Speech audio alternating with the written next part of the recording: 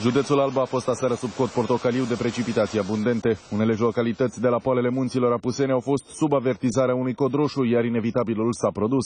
În mai puțin de jumătate de oră, râul din Valea Ighelului și-a ieșit din matcă și a început să curgă pe străzile din satul Șard, prin curțile oamenilor și pe drumul județean.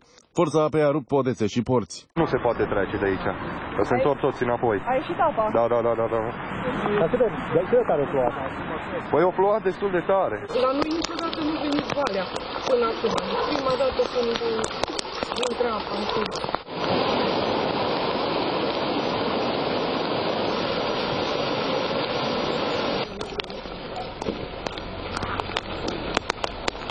S-a înfundat rigola, nu, nu mai face față?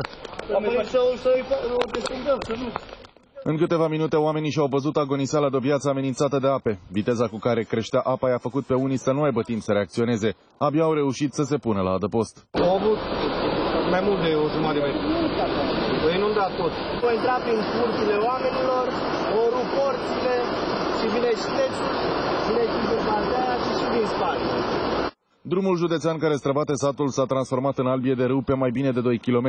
De forța nestabilită a apei nu au scăpat nici autovehiculele parcate pe marginea drumului. Patru autoturisme au fost avariate.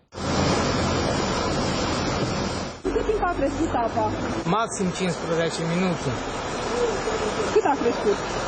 Au crescut la un metru jumate. Dacă nu mai bine.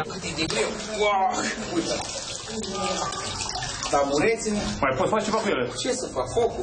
Primii care au intervenit au fost voluntarii de la Serviciul pentru Situații de Urgență din Ighiu, dar din cauza forței apelor au reușit doar să creeze breșe în digul pârâului, astfel ca apa să mai piardă din debit. Odată cu scăderea viiturii au intervenit și pompierii, care pe parcursul întregii nopți au scos apa din subsolurile caselor.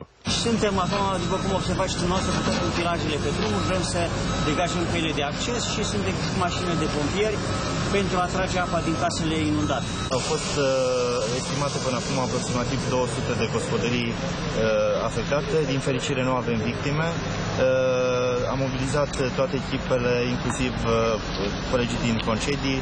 Satul Ighiu a mai fost afectat de o viitură în urmă cu 5 ani, dar amploarea inundației a fost mult mai mică. Pe parcursul zilei, autoritățile vor realiza un inventar complet al pagubelor și vor stabili măsurile pentru limitarea efectelor calamității din seara trecută.